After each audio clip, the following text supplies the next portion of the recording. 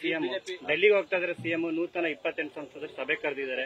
ಕೇಂದ್ರದ ಅನುದಾನಗಳಿರ್ಬೋದು ಅದೆಲ್ಲ ಚರ್ಚೆ ಮಾಡಿ ರಾಜ್ಯಕ್ಕೆ ಅನುಕೂಲ ಆಗೋ ನೋಡ್ರಿ, ಕಾಟಾಚಾರಕ್ಕೆ ಹೋಗ್ತಾ ಇದ್ದಾರೆ, ಕಾಟಾಚಾರಕ್ಕೆ ಮೀಟಿಂಗ್ ಕರೀತಾ ಇದ್ದಾರೆ. ಕೇಂದ್ರ ಸರ್ಕಾರದ ವಿರುದ್ಧವಾಗಿ ಮಾತಾಡಿ, ಪ್ರತಿದಿನ ಮಾತಾಡಿ, ಕೇಂದ್ರ ಸರ್ಕಾರನ ಬೈದು ಅನುದಾನ ತರುವಂತ ಇವ್ರಿಗೆ ಇದು ಕೆಪಾಸಿಟಿ ಇದೆ ಅವರಿಗೆ? ಒಂದು ಸೌಹಾರ್ದತೆ ಬೇಕಲ್ಲ, ಕೇಂದ್ರ ಮತ್ತು ರಾಜ್ಯ ಏನ್ ಪಾಕಿಸ್ತಾನ, ಇಂಡಿಯಾನ ಇದು? ಸೌಹಾರ್ದತೆ ಬೇಕು.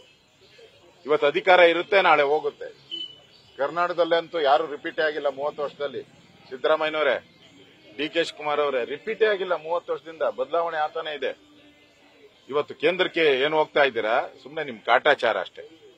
ಕೇಂದ್ರದ ಮನವೊಲಿಸಬೇಕಾದ್ರೆ ನಿಮ್ ನಡೆ ನುಡಿನೂ ಹಾಗೆ, ಹಾಗೇ ಇರಬೇಕು. ಈಗ ಬರಗಾಲದಲ್ಲಿ ಕೊಟ್ಟಂತ ಹಣ ಇನ್ನೂ ಅದು ಖರ್ಚು ಮಾಡಕ್ಕೆ ನಿಮ್ಗೆ ಹೋಗ್ತಾ ಇಲ್ಲ. ಬಡ್ಕೊಂಡ್ರಿ ಬಾಯ್ ಬಾಯ್ ಬಡ್ಕೊಂಡ್ರಿ ಬಂದಿಲ್ಲ ಬಂದಿಲ್ಲ. ಬಂದ್ ಮೂರ್ ತಿಂಗಳಾಯ್ತು.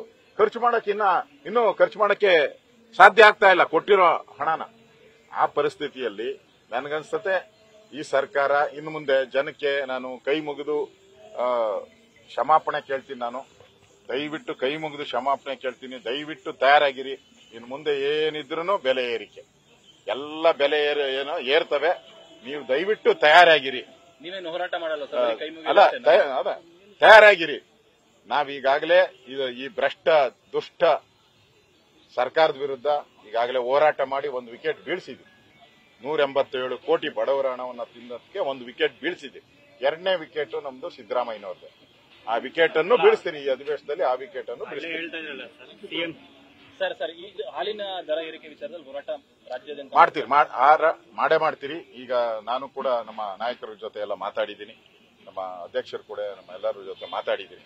ಹಾಲಿನ ದರ ಏರಿಕೆಯನ್ನು ಕೂಡ ನಾವು ಹೋರಾಟ ಮಾಡ್ತಾ ಇದ್ದೀರಿ. ಮೋಸ್ಟ್ಲಿ ಮೂರು ಅಥವಾ ನಾಲ್ಕು ಅಂತ ಈಗ ಮಾತುಕತೆ ನಡೀತಾ ಇದೆ. ಮೂರು ಅಥವಾ ನಾಲ್ಕಲ್ಲಿ ನಾವು ಸಿದ್ಧ ಮುಖ್ಯಮಂತ್ರಿಗಳ ಮನೆಗೆ ಮುತ್ತಿಗೆ ಹಾಕುವಂತ ಒಂದು ಕಾರ್ಯಕ್ರಮವನ್ನು ಮಾಡ್ತೀವಿ.